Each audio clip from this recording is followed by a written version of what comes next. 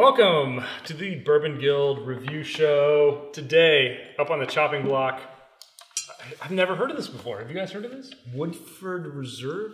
Of course you have. We're, we're reviewing an Old Faithful here, Woodford Reserve. I'm Dutch, Jules. Dylan. Ben Richards. the butcher of Bakersfield.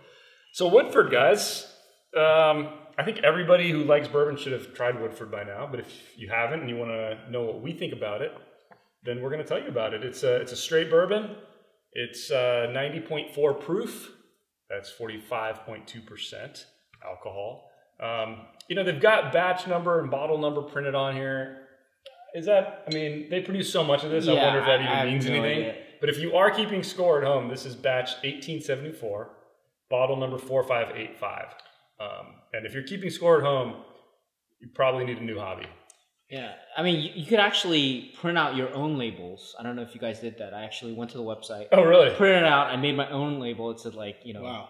yeah, Dylan's uh, Woodford. All right. Okay. Well, He has Dylan will give us a little bit. too much to do. Give us a little more background on it while I crack this open and pour us. Um, Yeah, Can we get the MSRP real quick? Oh yeah, sorry. yeah. MSRP is about uh, actually the official MSRP. I think is thirty five bucks. We picked this bottle up for twenty five. You can usually find it for anywhere between twenty five and thirty five dollars. you can get it at the big box stores, right? Big box stores, you can get it under twenty five sometimes. That's I a mean, pretty good discount, man. Yeah, that's pretty good. um, yeah. real cork, by the way. guys, Oh. if that matters to you. Should- So, so I, you know. I don't know what to say about this. I mean, there's there's so much information. There's a, a lot of history. Chris Morris is, I think, is the master distiller still. Um, the site that they're distilling this, um, they've been doing it since the 1780s. Uh, building was erected in 1838. Um, current Woodford operates out of Versailles. Uh, in Actually, hang on, hang on. Versailles.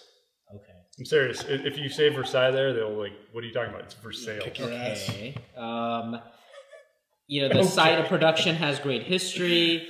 Um, apparently, the technique is the technique used by settlers in the 1770s. So that's kind of interesting. And it's made from 72% corn. What's the proof? and it's a rest of a combination of 18% rye and 10% malted barley.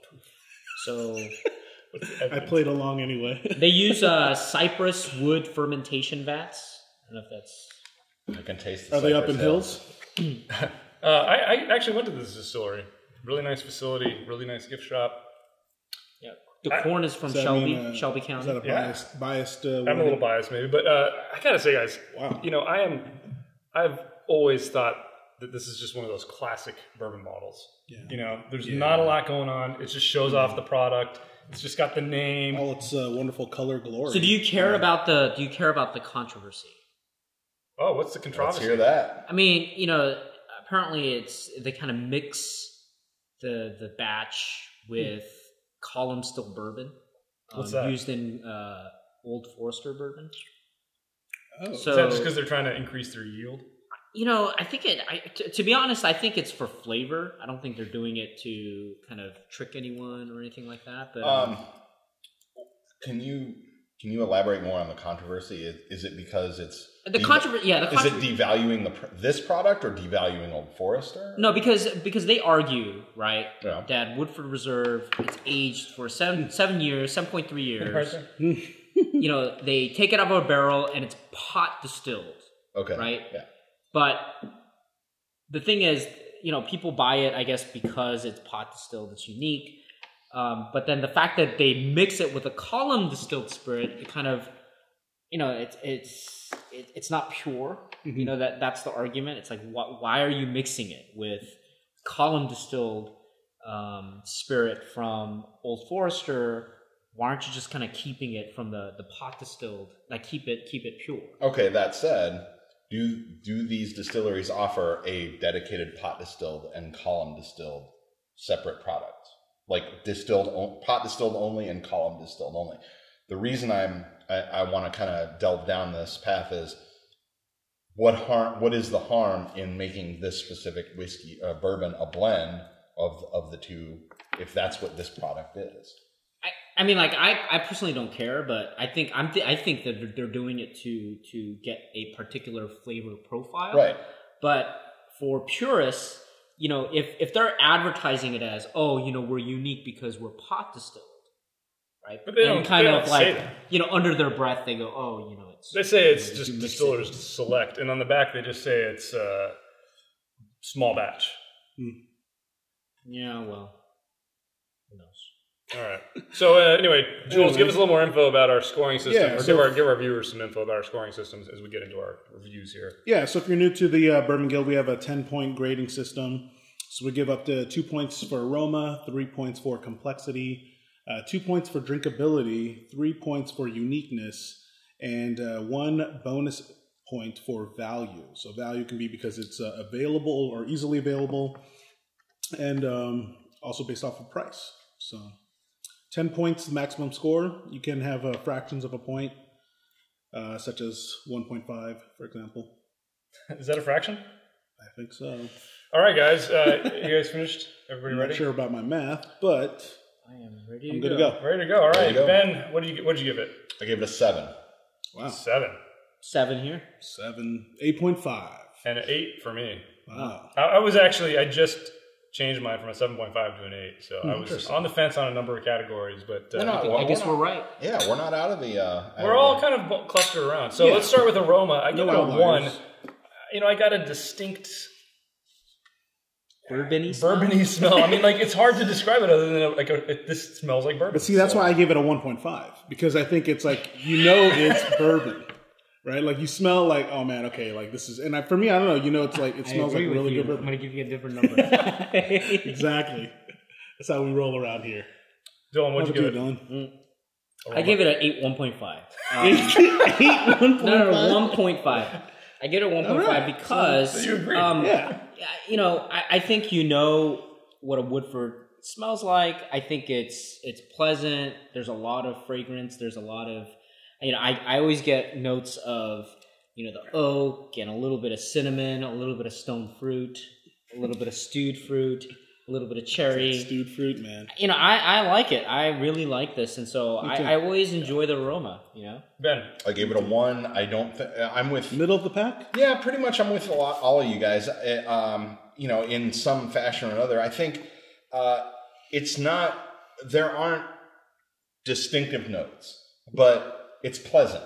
It's very. It's a good Smells like bourbon bourbon. smell. It Yeah. does smell. It smells like a plate. Yeah, I mean, you, bourbon. pick up like you pick up a little bit of caramel. Yeah, if you exactly. Really focus. I mean, but it, it's not. It's I actually not get distinctive and unique I get compared a to other surprising bourbons, amount of but- alcohol. Yeah, smell. I agree. Really? But it's the middle of the road. It's it's perfectly serviceable. I like it. Totally, totally agree. So complexity, guys, and actually, you know, I, I've been sip, sipping this here. you don't want me to do that? Uh, I've been sipping it here, and I actually bumped mine from an eight to a seven point five in the process. Um, complexity, I dropped mine down from a two to a one point five. Uh, to me, it's middle of the road complexity. It's it's it's I it's a good balance. It's it tastes like a bourbon. There's nothing to bump it up out of the middle mid range for me. And as I was taking extra sips, I was like, you know what? I, I just have to bump that down just a tiny bit. So Interesting. 1.5 complexity, uh, Jules. I may have to do the same only because uh, originally I give it a 2.5. Wow. But but the reason is because like for me like it's hitting all those different notes. Like I know there are different notes in there. Try with a little. Yeah, a little for you know for complexity and this is what I- I, I expect out of like a that. bourbon. You know, so what are you gonna What are you gonna Skip give right uh, past Happy Dylan. Man Winkle? Is that gonna be like? Winkle. Is that gonna be a zero point five? Happy Van Stinkle will be interesting. Schmappy Van Tinkle might be like a two, but from him maybe a three point five. for complexity. 3.5. 3.5. He goes above the Off number. the We know he will give a zero on value. Yeah. Okay, Yeah. so complexity. Uh, what did you give it, Dylan? Uh, I give it a one point five. I think uh, again. So what I did agree you not with give you a guys. 1.5 for? Uh, Value. no, it's all one point Value. five. It's like you know, for for complexity, I think it's right down the middle. It's right I down think the it's good. Um, you know, if again, if I went to I a would bar and they said, "Oh, you know, there's I like Woodford, than- there's Maker's Mark, there's blah blah blah, the usual stuff," I'd pick Woodford. I love it. So Okay, something so, interesting hang on that here. happened So, to so me. Jules and, and Ben have added water like I did. Yeah. I know that Dylan refuses to ever do that. But something that interesting that happened to me, like I think because I added the water, I mean it tastes a lot better. But yeah, I mean I think it definitely decreased the complexity. So I think I'll actually knock it down a notch. it's it's ninety proof. I mean, it's Yeah, pretty weak. Yeah. yeah. Uh, so Ben, what did you what did you think I about went one complexity? point five, same as you. I don't think it's overly complex. Yeah. I don't think that's bad, and that's why I wanted to get back to the controversy that Dutch was talking about about I'm Dutch. Um, He's Dylan. or Dylan. Sorry, thank you. I, it was one of you D's for dicks. Um, I wanted to get back to the had a lot controversy of the the pot distilled versus the column distilled and what they were trying to achieve and what you know what the offerings are because for what this is, it's not very complex, but it's decent. That's not bad. It's Right, good. totally. I like the flavor they achieved. I like the totally. smoothness. I, I, I don't think So, that speaking of smoothness, let's move, let's move on to drinkability. What did you give it?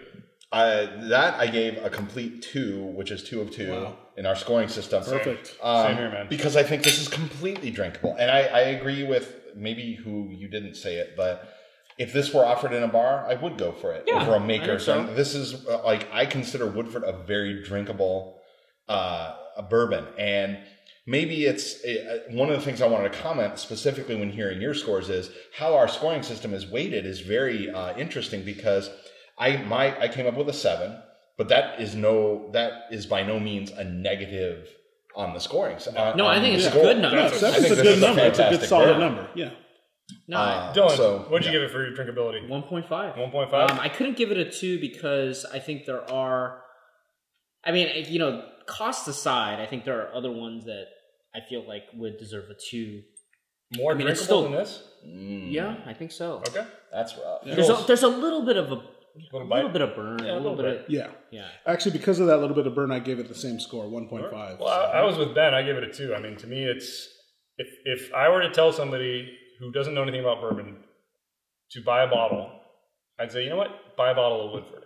Mhm. I mean, to me, this is bourbon. Quintessential, Yeah, like and, and for me, the drinkability is spot on. Like it, to me, bourbon should have a little bit of that alcohol hit, Yeah, I just agree. a little Like bit, just the amount that Woodford has. I mean, That's for why the think it's price, so- it's, amazing. Yeah. I mean, you know, Yeah, this would be my go-to recommend. Yeah. man, So Okay, so uniqueness. Um, I actually bumped mine from a 1.5 to a 2 just Mhm. because of, I don't know. I mean, it, it's a very nebulous concept to begin with when we talk about uniqueness. But to It's me, subjective. factoring in the bottle actually pushed me up a little bit because I, I like the minimalist. I like the story about the way it's distilled, even though there's controversy. It doesn't matter. Like to me, it was on the verge of 1.5 to 2, and the bottle and all that pushed it up to a 2 for me. Yeah. No, I mean for me, yeah, same right here. Two for uh, uniqueness, two out of three. Really good Um, I really love, and I co- totally agree with you. I love the minimalist design.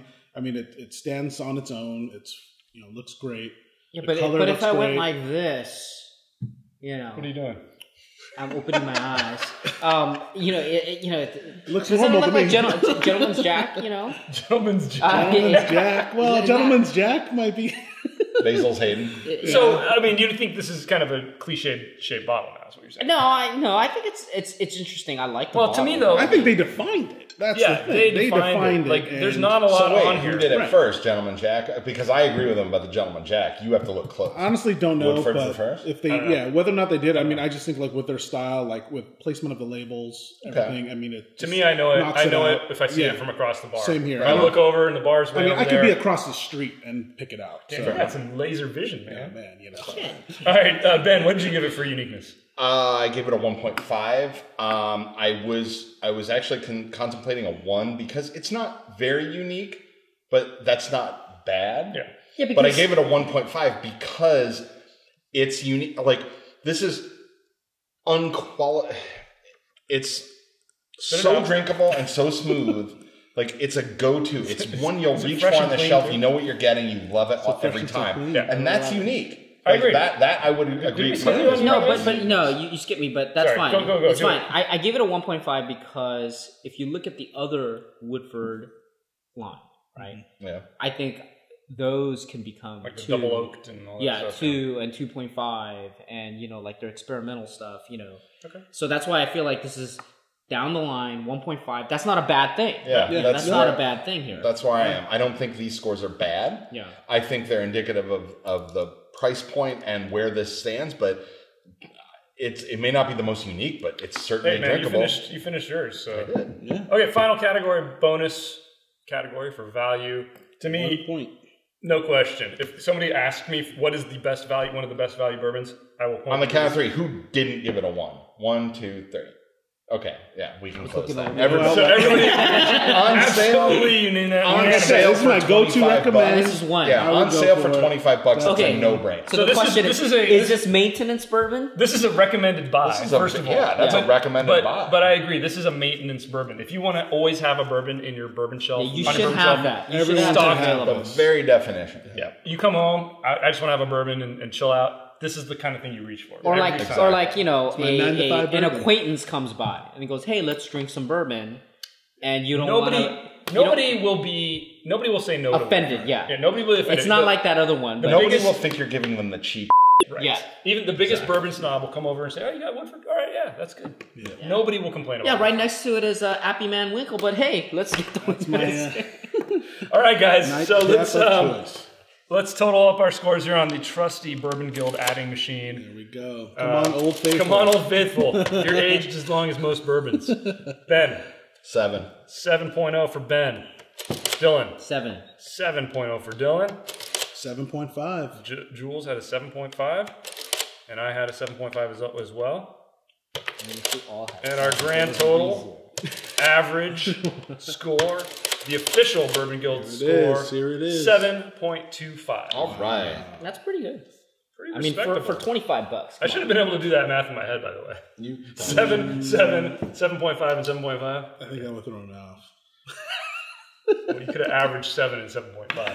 There you go. All right, guys. So, uh, official word from the Bourbon Guild on Woodford Reserve: seven point two five is classified. We classify it as a definitely a best buy, and Recommend. You gotta have it. a You gotta recommended have it. buy. You Must gotta have, have, it. must It is have. the quintessential maintenance bourbon. You'll hear us mention other bourbons as being maintenance bourbons, but this is this is what we mean when we talk about. Yeah, and go to the website. Sometimes they'll allow you to print out a sticker. Or actually, no, they don't print it out. You you you put it in, and they send you the sticker so that you can actually put your name on your bottle. so you can have your own name. Personalized. It's a bargain at twice the price. Actually, if Take you us got out, it on Jules. sale at 25, yeah, that's. You know. Yeah, well, leave us a comment uh, below. We'd love to know your thoughts on what you think of the Woodford.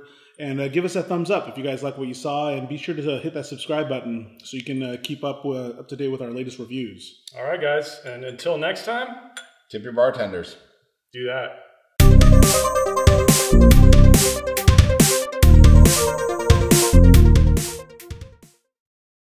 But that's what I mean. Like, this is so much better than Few. Yeah, okay. Oh, God. Oh, yeah. much without- better than you. without- Come on, man. Without a doubt. Half the price.